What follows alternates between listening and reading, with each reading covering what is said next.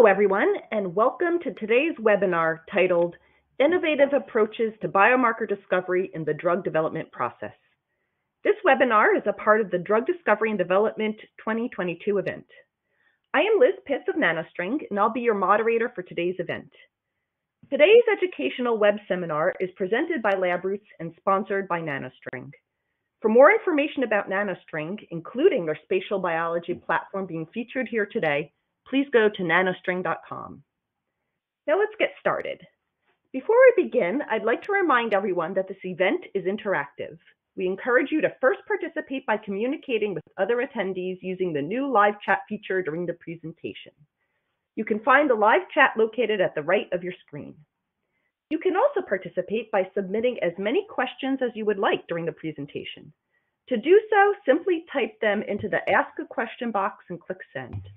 We'll answer as many questions as we have time for at the end of the presentation.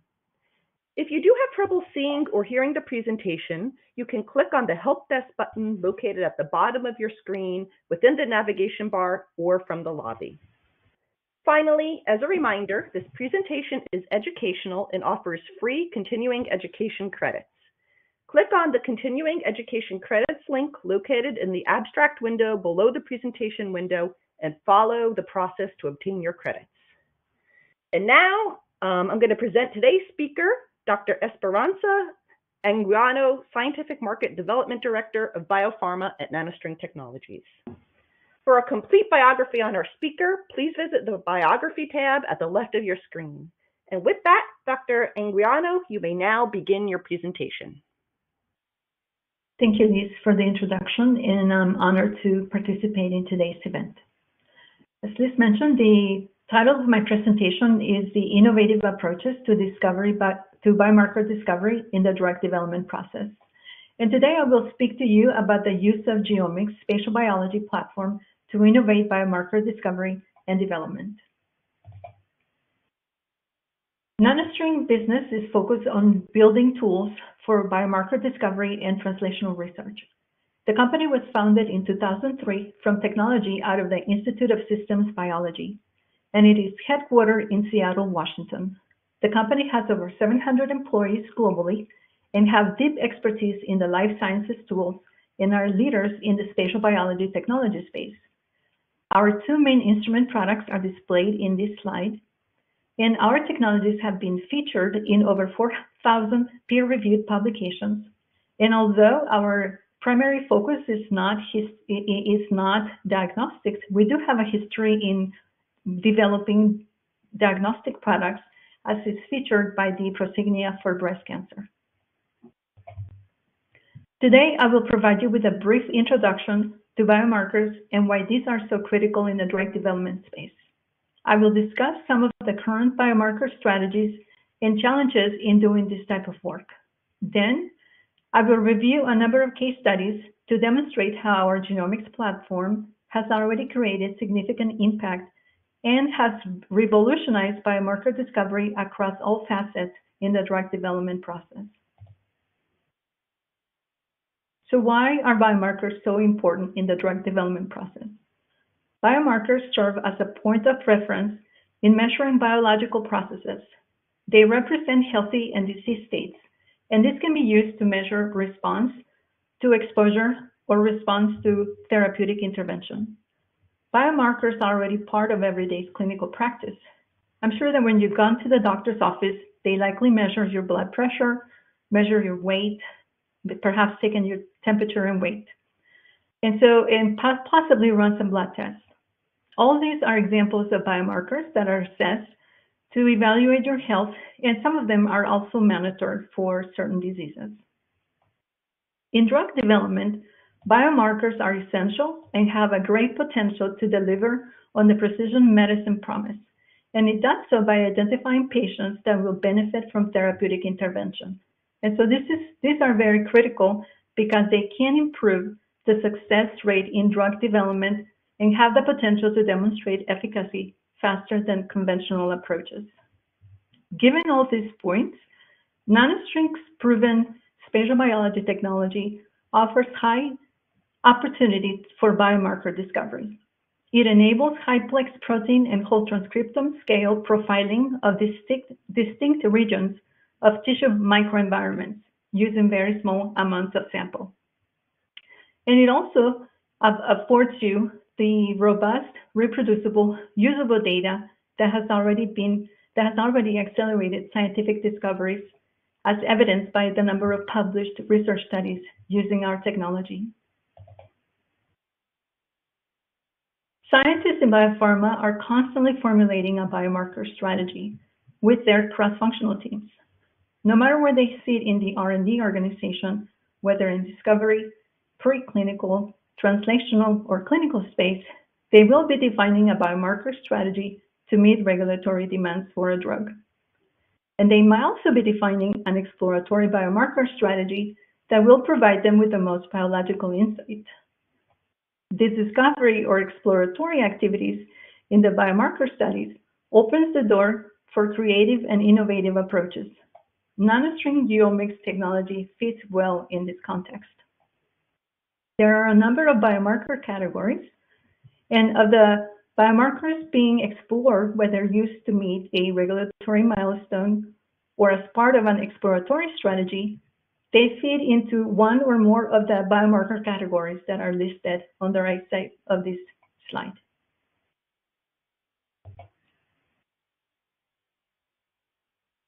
The specific approaches to biomarker discovery is dependent on the drug development stage and the specific insight needed to be gained. Under each of these steps in the drug development continuum that are listed in these green arrows, I have listed the specific insight that is generally sought. The type of biological sources for these studies and biological assays will vary depending on the stage of the development. Because of the different uh, sources of samples and the types of assays that are being used, this can present significant challenges. For instance, biomarkers discovered in the early stages of drug development are often derived from experimental models.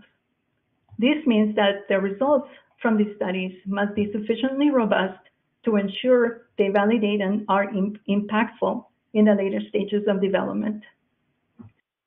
Uh, bioanalytical methods can also be a concern, in, especially in the early stages of drug development, where, they not be so, where they may not be so robust. Analytical verification of methods can help improve this process. Another challenge comes from clinical samples.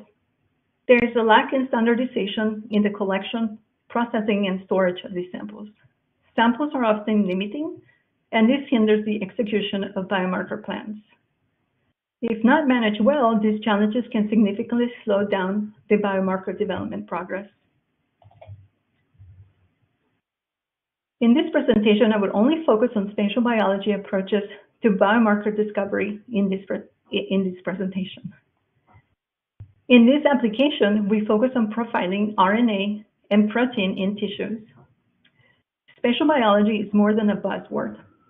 With spatial transcriptomics having been declared the method of the year in 2020 and spatial biology as one of the technologies to watch in 2022, there is no doubt that the spatial biology is a new frontier in molecular biology.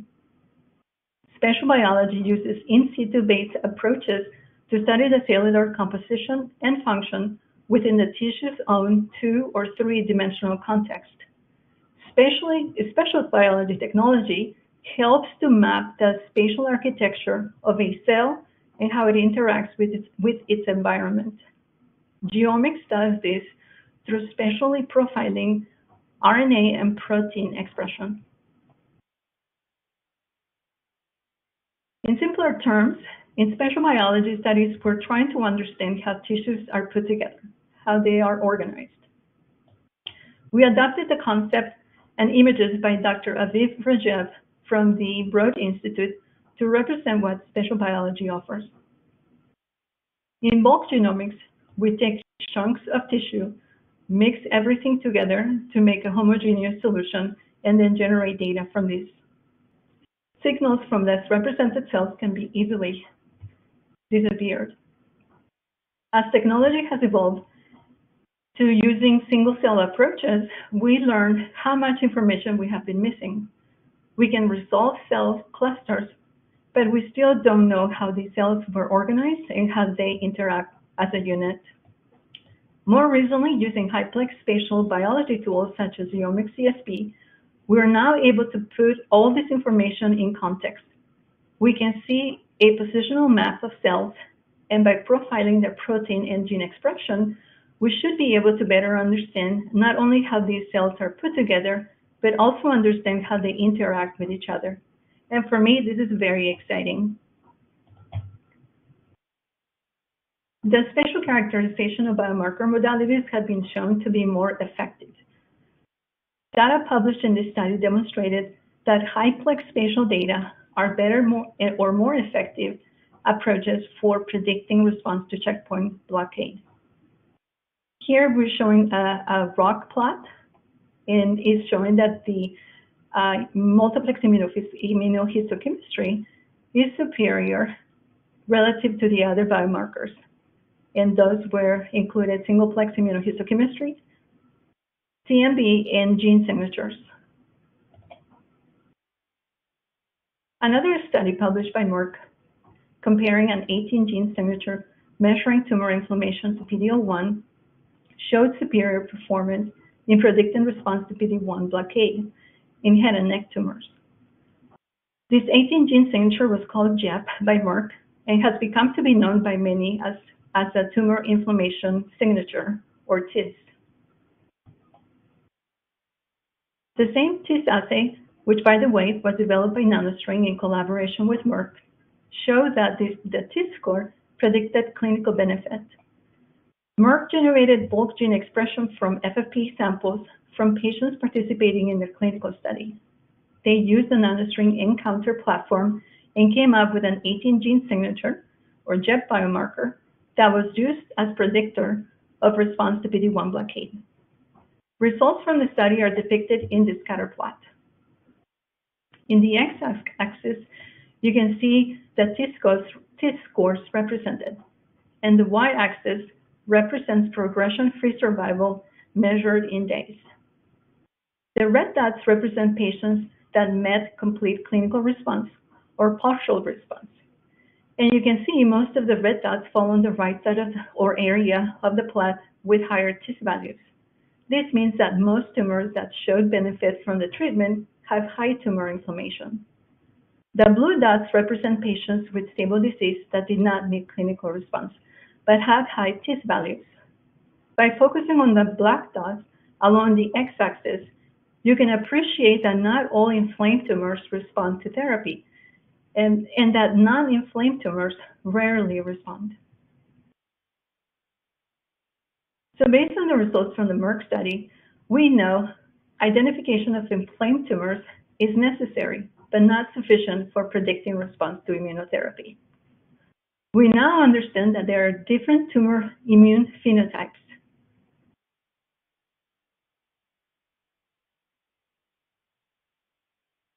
The images on the left side depicts an immune excluded tumor, and the image on the right side depicts a highly inflamed tumor. Based on both gene expression profiling used to generate tumor inflammation signature scores depicted in the, in the circles with values, it, this shows that both tumors yield high TIS scores. The localization of immune cells depicts different tumor biology, as you can appreciate in the enclosed circles. And this suggests that bulk or single cell analysis cannot accurately profile tissue biology, and that spatial context is important. Given the cellular heterogeneity in tissue samples and the ever expanding combination of therapeutic strategies, there is a critical need to gain the most biological information possible from limiting amounts of clinical samples. With the growing focus and appreciated value of spatial information and the limitations with current spatial technologies, researchers are used to trade off high-plex assays for low-plex spatial assays.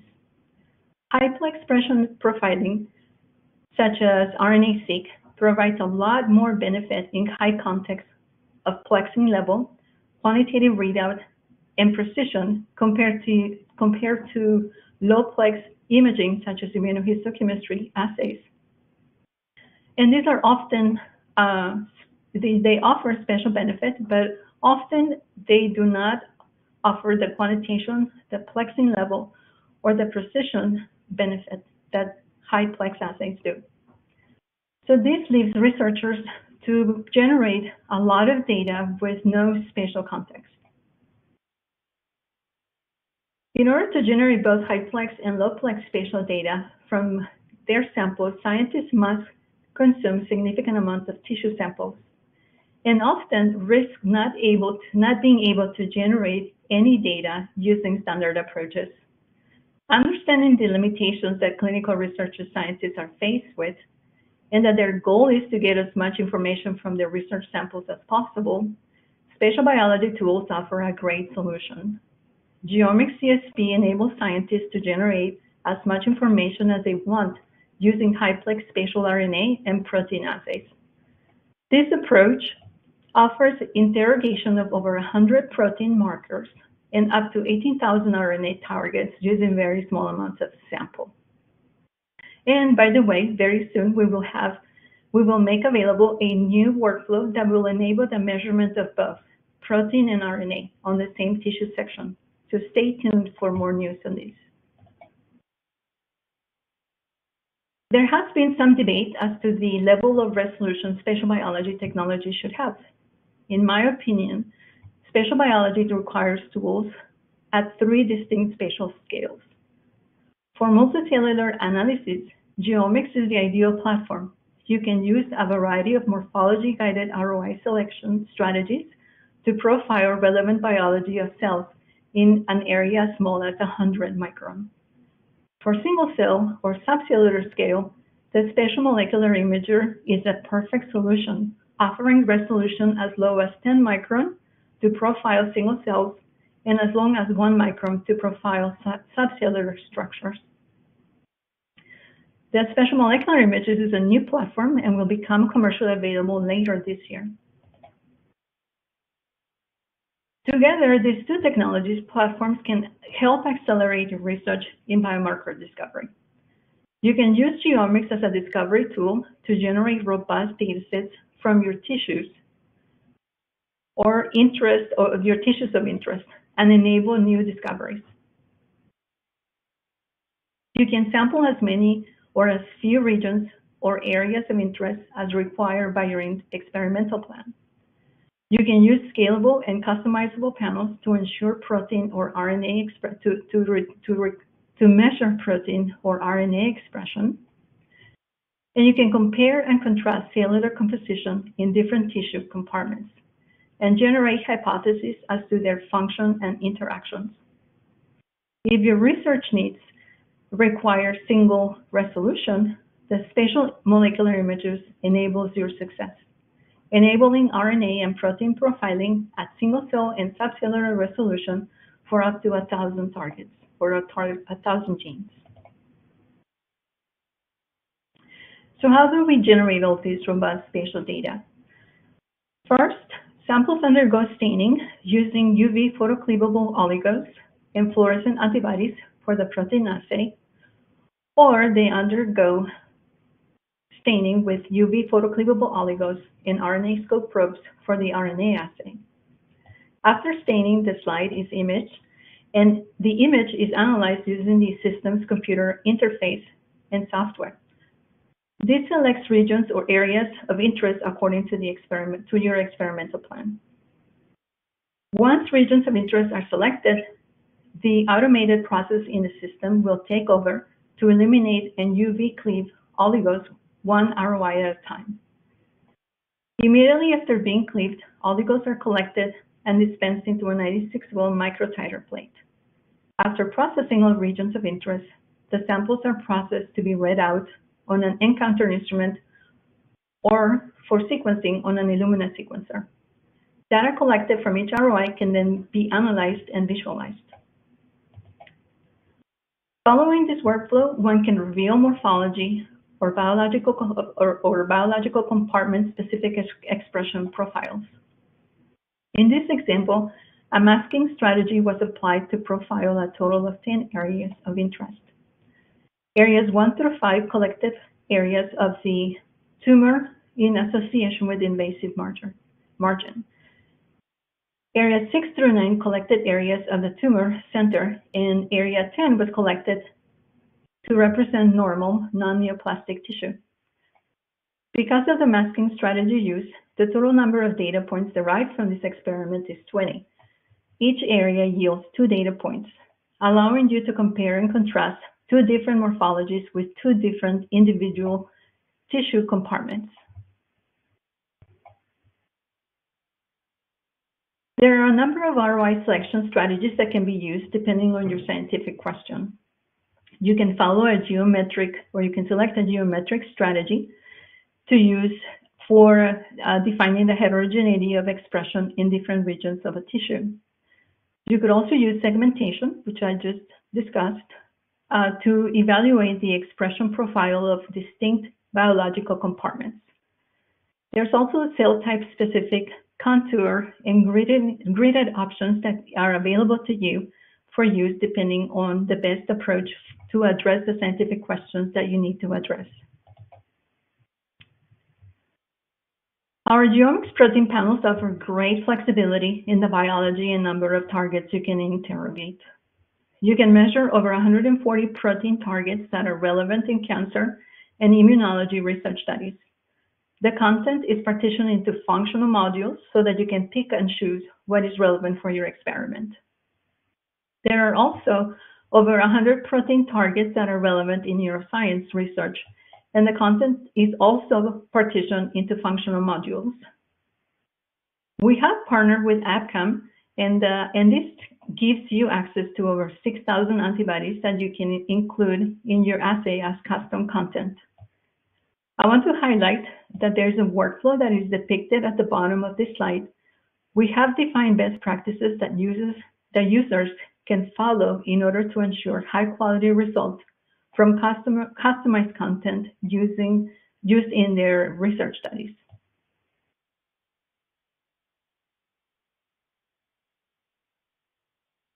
In terms of RNA content, there are three panels that are available. And two out of the three panels are read out on Illumina sequencers. The whole transcriptome panel is available for both human and mouse and target over 18,000 genes. The internal verification experiments have shown high sensitivity and specificity for this assay. The assay is highly robust. As we can see on this chart, you can easily detect over 6,000 genes in ROI sizes of as small as 100 micron. The Cancer Transcriptome Atlas is another panel that surveys over 1,800 genes across more than 100 pathways.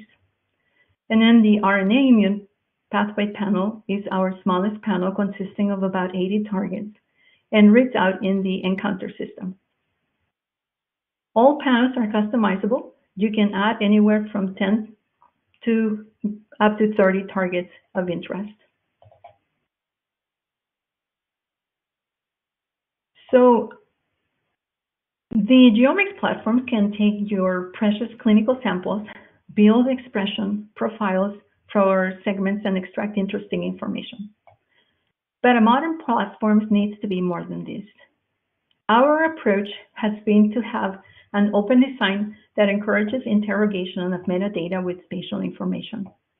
This allows users to input various pieces of information into the analysis workflow. Gene expression signatures can be incorporated, for instance. Images from other platforms can be used to inform regions of interest selection. This is a nice feature to have. You can use your existing immunofluorescence reagents to obtain images that can be superimposed on serial sections to select your regions of interest. This can be very powerful and get studies started much faster.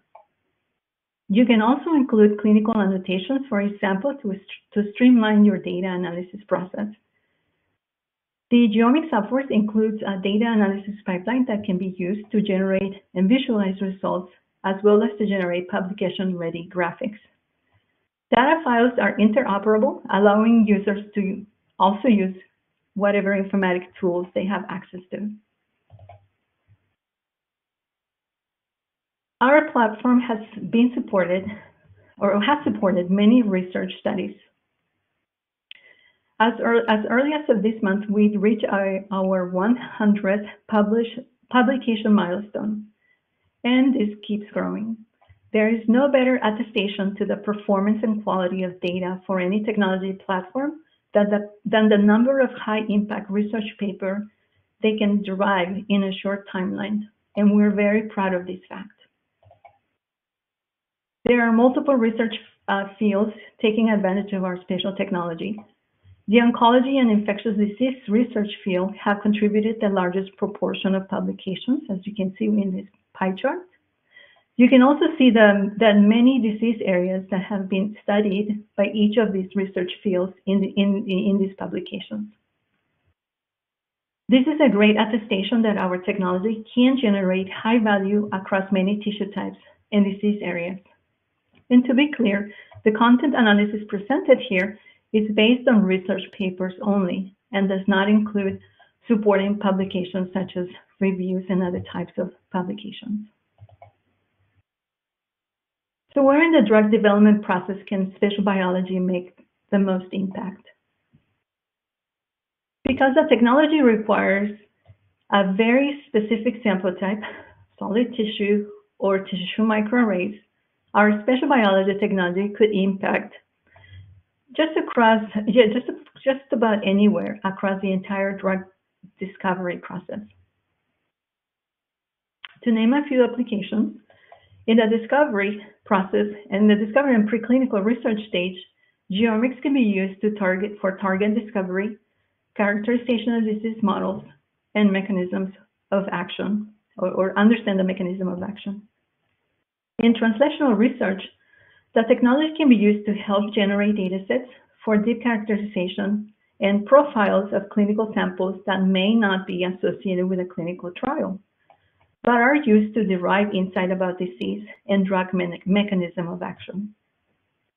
In the clinical development stage, the best application besides the usual pharmacodynamic studies could be reverse translational studies, going back to analyze samples for which there are clinical metadata, including outcome data.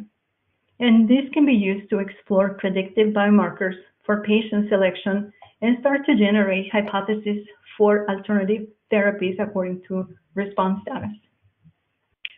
The case studies that I will review next demonstrate how GeoMx can predict clinical efficacy faster and how this in turn can help accelerate the drug discovery process. Well, I've selected a, a total, you know, a few samples and I will give you a very high level overview to demonstrate application in preclinical studies, translational research, and activities in reverse translation.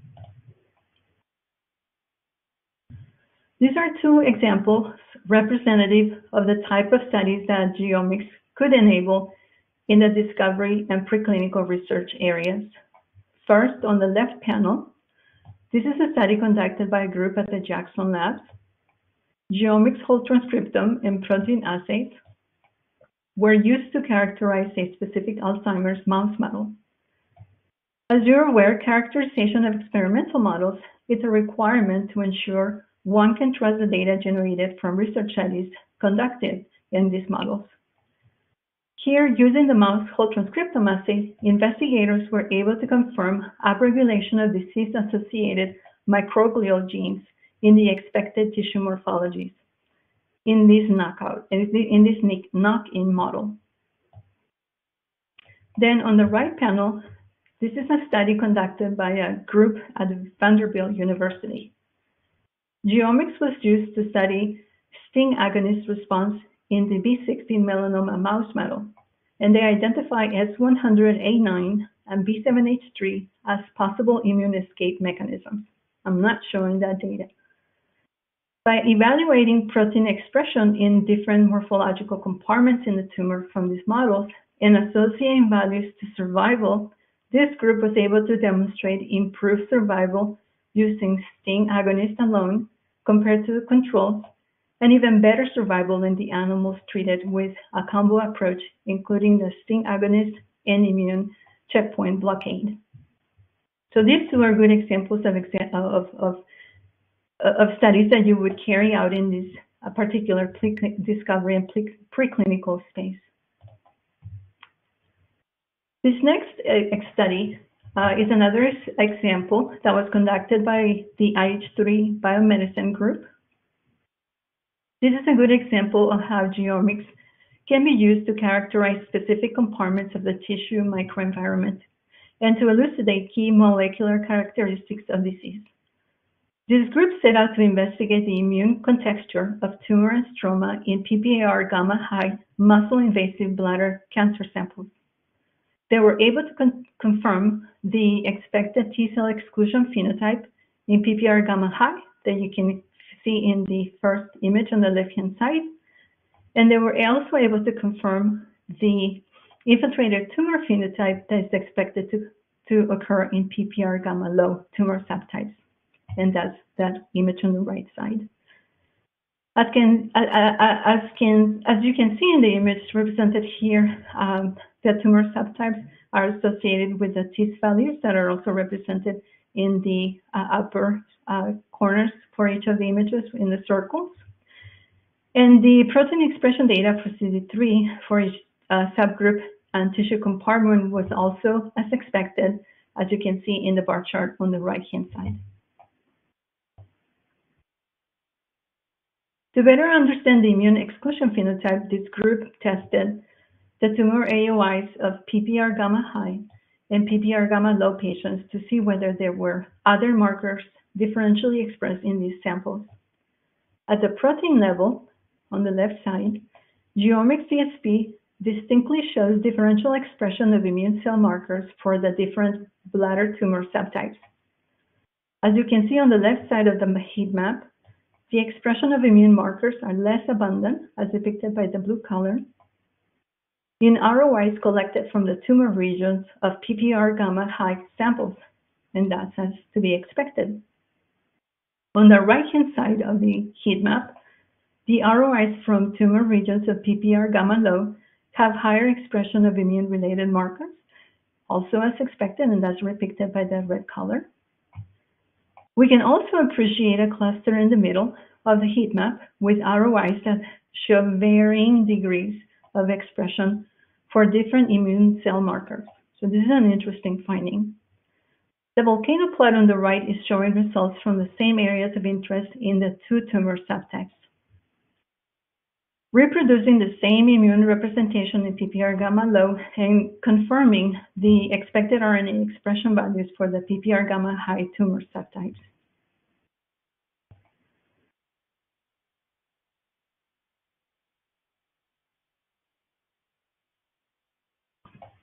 As already highlighted in clinical studies, each tissue section uses each tissue section used is critical to the overall study design because the physical samples are usually very small.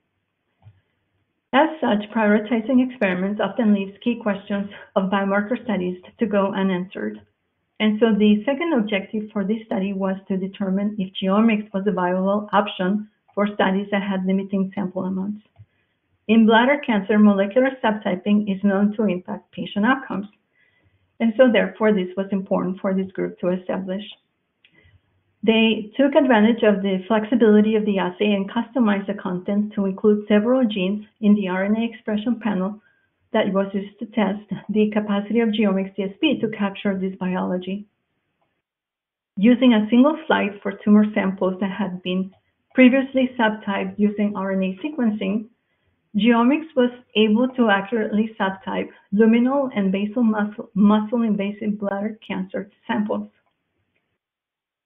The heat map on the right is showing the results of unsupervised hierarchical clustering of ROIs profile using, custom, using a custom gene set that was spiked into the standard RNA panel. Besides the, the suitability for discovery and development of biomarkers for patient selection, this study demonstrates the robustness and reliability of the data generated by the GeoMx platform. And this was using very small sample amounts. This study also suggests that results generated using GeoMx could likely be translatable for developing assays in standard platforms.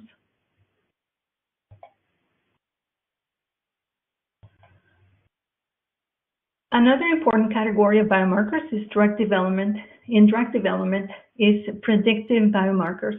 And this study, published by David Rimm's lab at the Yale uh, University, demonstrates the advantage of the genomics platform and the unique opportunity this type of this this this type of represent retrospective analysis represents in drug development. This study used tissue microarrays from baseline biopsies to determine if digital spatial profiling could reveal novel predictive biomarkers, either singularly or in combination across multiple biological compartments of the tumor and its immune microenvironment. They use a masking strategy to enrich for tumor cells or CD68, CD68 cells in the, in the areas of interest, and that's depicted in the right-hand side of this slide. They profiled the expression of 44 proteins in, morph in morphological context across 59 patients that, that underwent immune checkpoint inhibition therapy. Analyzing results for association with patient outcome, they found several probes, primarily in the stromal compartment, were associated with patient outcome. These are listed on the table in the upper right uh, quadrant of this slide. PD-L1 showed strongest association with overall survival in the CD68 compartment, and B2M in the CD45 compartment was associated with both progression-free survival and overall survival, with strongest association with PFS in CD45 compartment. This study demonstrates that the value of, of, the, of compartment masking to reveal mechanistic, me mechanistically rational associations with clinical outcomes. So it once again proves the value of the spatial resolution of these biomarkers. If bulk analysis had been run, these associations may have been missed due to the fact that the majority of tissue on, on, on most slides was tumor, and the meaningful associations were in non-tumor regions. Importantly, this study further highlights how genomics can enable meaningful investigations with limited patient samples. In conclusion, I hope that I have convinced you that NanoString Spatial Biology Technology, GeoMx DSP, offers reliable and innovative biomarker discovery solutions. These are applicable at every step of the drug development continuum. In basic and early discovery or in, in basic and early development studies, through the use of high-plex protein and RNA options available for human and mouse, you can find new discoveries. In translational research studies, you can generate deep characterization of clinical samples. And in clinical studies, beyond the standard biomarker analysis, reverse translational activities are low-hanging fruit. All of these can benefit from high-plex, customizable, scalable content, highly reproducible data, translatable results, and by this I mean uh, results that could easily be translated to clinical-facing assays or technologies. You can get the most biological insight from clinical samples using very small amounts of sample. And it maximizes, it maximizes success and increase speed in drug development to impact patients' lives. With that, I thank you for your attention and I'm happy to answer any questions. Uh, thank you so much, Dr. Anguiano, for joining us today and for sharing your insights into both biomarker discovery as well as spatial biology. We will now start the Q&A portion of the webinar. If you have a question you'd like to ask, please do so now. Just click on the Ask a Question box located on the far left of your screen. All right, let's get started. First question for you. What types of studies would benefit most from spatial profiling? The type of studies that would benefit more from spatial profiling are those where a lot of research has already been conducted, for instance, and you have identified the specific biomarkers that haven't been very successful in uh, proving to have clinical utility. I think the example that we gave here today with PD-L1 is a good example. So by including the spatial context in their research, this group was able to bring value to PD-L1 in the context with spatial context to elucidate a predicted value. Great. Second question for you here. When would you recommend looking at each type of analyte? Are there areas where RNA or protein would prove most insightful? Um, I think each, each um, target offers different type of information, and in combination, you probably get a, mu a much better picture. RNA profiling is it, is, it gives you highest um, content, so you have higher, much more information that you can derive from a sample, and you can predict, you can generate hypotheses about uh, specific pathways that that you could potentially then test on, for instance, the uh, protein assay to to ensure that the transcriptional expression is really representative of the uh, translational aspect of uh, the functional process for the cells, with, uh, which is through the protein expression. All right, it looks like we have time for one more question. Uh, final question for you. The ability to select ROI seems like a powerful tool that can enable scientists to ask very precise and customized questions in their research. Can you share any insight into the benefits of using geometric ROIs or taking a segmentation approach, for example, when designing your studies? Sure. So there are benefits to using a geometric approach. The best, um, you know, the best benefit would be that you have a better ability to control the size uh, of the of the or or the composition of the tissue within the ROI section. So, for instance, you might find tissues where the cell density might vary, and so by having the ability to use uh, a, a, a, a, geographical or geo, geographic geometric, I'm sorry, ROI you have the ability again to control that specific content that you're collecting. While segmentation approaches are valuable, uh, those might inhibit your ability to control, for instance, the representation of the morphologies that you're measuring in that space. Uh, but those are important things to keep in mind, especially how you're ultimately going to normalize and analyze your data. Excellent. And um, with that, I would like to thank you again so much, Dr. Anguiano, for your time today and for sharing your knowledge with us. Before we go, I'd like to thank the audience for joining us today and for their extremely interesting questions.